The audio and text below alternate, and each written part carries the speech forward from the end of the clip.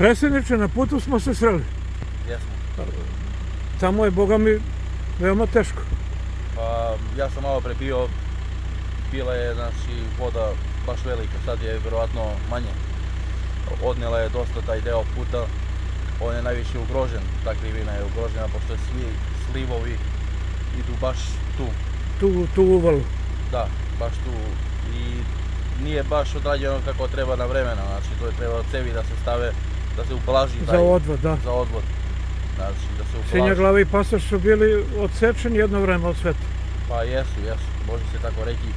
E, Ovi ljudi iz Sinje glave što tamo rade, oni su malo pre, znači baš pogodili kada je bila najveća bujica Aha.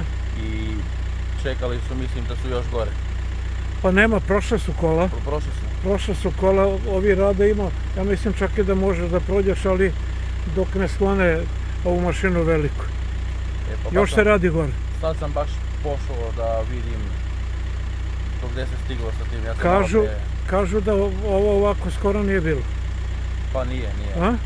Ne pamtite Po- to? Pa poplava 88. je mislim da je bila najveća i onda je odnela isto tako deo puta. Velika keša pala, dugo je padala ili?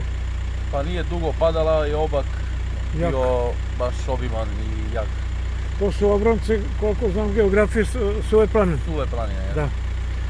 Predsjedniče, kako ime i prezime? Miloš Pešić. Mlad predsjednik Alvera, evo ti ruka, vidimo se. Gospođa je tu, Jeste, pozdrav. Ajde, vidimo se, sve najbolje. Ćao.